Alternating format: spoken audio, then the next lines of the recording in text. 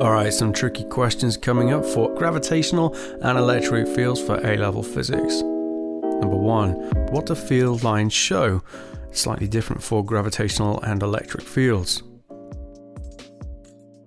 For gravitational fields, it shows the direction of force on a what we call point mass, and we know that's always attractive, so it's always towards the mass. But for electric fields, it's the direction of force on a positive charge. We might call that a positive test charge. So that means they go away from positive things and towards negative things. 2. What do field lines look like for A. a uniform field and B. a field that is getting stronger? For a uniform field, we have parallel lines, and for a field that's getting stronger, the lines are closer together. The more densely packed the field lines are, the stronger the field at that point. 3. What is Newton's law of gravitation? F equals gmm over r squared, where g is the universal gravitational constant. In words, the gravitational force between two bodies is proportional to the product of their masses and inversely proportional to the square of their separation. Don't forget that distances are measured from the center of the masses. Similarly, 4. What is Coulomb's law? F equals kqq over r squared. In words, the electrostatic force between two charges is proportional to the product of their charges and inversely proportional to the square of their separation. If you don't know that version of the equation, 5k is the shorthand for the constant involving permittivity of free space. It's 1 over 4 pi epsilon 0. What is this equal to? It's 9 times 10 to the 9 to 2 sig figs, so it's a really useful number to have in your head to use as a shortcut when doing calculations. 6. What are the equations for gravitational and electric potential energy and how do they relate to force? Similar to the equations for force, they are gmm over r and kqq over r, not r squared in this time. Why? Because we know energy or work done is force times distance, so all we're doing is taking our force equation and timesing by r.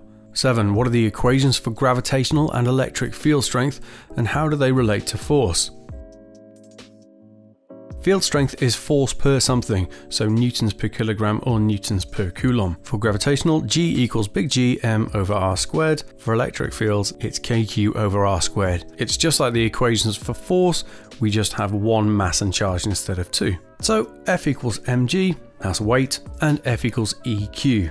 8. What is the definition of potential? It's the work required to move a unit mass or unit positive charge from infinity to that point. So the unit is joules per kilogram or joules per coulomb. 9. How are equipotentials related to field lines and how do they differ for radial and uniform fields? They always cross perpendicular to each other. Equipotentials are straight and an equal distance from each other for a uniform field, and they're curved and a varying distance if not, say for a radial field like here. 10. When can we use E equals mgh instead of the full equation that we've just seen? We can only use it if G, field strength, doesn't change. That's either for a uniform field, we don't really have those in gravity really, but if we zoom in close enough, the change in height is so relatively small that G hardly changes, so we can use it. So if we're throwing a ball up in the air, then we can just use E equals mgh. We don't have to use E equals gmm over r. 11. How do you find escape velocity or distance of closest approach? You just equate potential energy and kinetic energy, gmm over r or kqq over r equals half mv squared. 12. What is different about finding resultant field strength and finding resultant potential? Field strength is a vector, so that means direction matters. So if two planets are pulling in opposite directions, then the field strengths cancel each other out at some point. However, for potential, it's a scalar, so we only add the magnitude. 13. Apart from at infinity, what is the only other way there can be a potential of zero?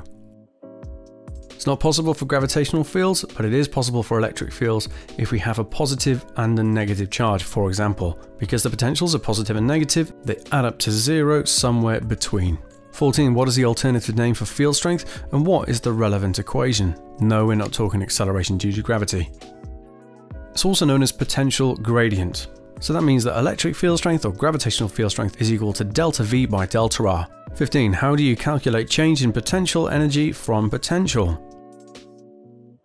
All you do is multiply the change in potential by mass or charge. And full equations, we can't stick the change in distance on the bottom. It has to be the full gmm over r minus gmm over r, or kqq over r minus kqq over r. And you can see that I've factorized here. 16. Fairly tricky. How do you deal with a field strength of zero between two objects when you only have one distance? How are you going to represent this in an equation? Okay, so if there's no resultant field strength, then that means that the individual field strengths are equal and opposite at that point. So we can see gm over r squared for one planet equals gm over r squared for the other. Cancelling out the g's, we just say that m1 over 10 squared is equal to m2 over y minus 10 all squared. It's the total distance take away the first distance. What you want to do is flip the whole equation on its head, square root everything, so we end up with 10 and y minus 10 on the top, and root m1 and root m2 on the bottom. Then we expand and then rearrange for y. 17. How do you calculate the force on a particle between two parallel charged plates? Well, we know that F is equal to EQ, but what is E equal to? Well, because it's parallel plates, we can say that the electric field strength is equal to V over D. That is the potential difference divided by the separation of the plates.